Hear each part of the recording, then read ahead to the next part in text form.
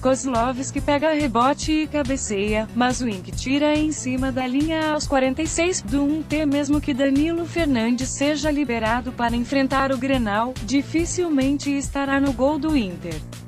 Marcelo Lomba aproveitou a ausência do titular por lesão e virou um dos pilares da equipe. E, além da boa fase, mantém a invencibilidade com três partidas sem sofrer gols. O que buscará confirmar em seu primeiro clássico, na noite desta quarta-feira contra o Cruzeiro RS, em Gravataí. Mas mais uma vez o goleiro mostrou suas virtudes. Após vacilo do sistema defensivo ao final do primeiro tempo, fez a intervenção no chute do atacante França, veja no vídeo acima.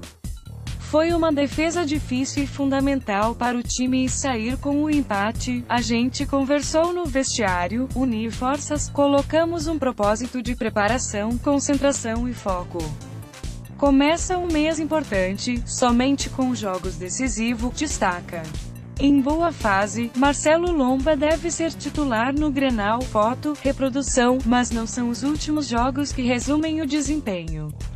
Ao longo da temporada, Tilomba tem se mostrado peça fundamental no grupo de Odair Hellman. Em sete oportunidades, só foi vazado duas vezes, o que dá uma média de apenas 0,28 por partida, muito por suas defesas ou milagres. 7 jogos 2 gols sofridos média de 0,28 por jogo 3 jogos sem levar gol 366 minutos sem ser vazado Lomba não é vazado desde 21 de fevereiro quando Felipe Marques abriu o placar para o Remo na vitória gaúcha por 2 a 1 pela segunda fase da Copa do Brasil. São exatos 366 minutos de solidez no Inter desde meados de 2016. Lomba participou de 23 partidas. Antes reserva, estará em seu primeiro Grenal. Danilo Fernandes voltou a treinar recentemente e não deve iniciar a partida.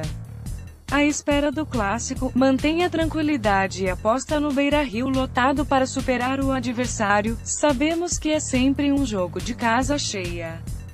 O Beira-Rio estará lotado. É o maior confronto do estado. Nos prepararemos da melhor forma com o apoio do torcedor para poder vencer o jogo, disse o goleiro. Com o empate em Gravataí, o Inter soma 18 pontos, mesmo número do Brasil de Pelotas, mas segue na liderança em razão do saldo de gols 11 a 5. Na próxima rodada, o time disputa o clássico Grenal pelo fim da fase de grupos do Gauchão. A partida será às 17 horas no Beira-Rio.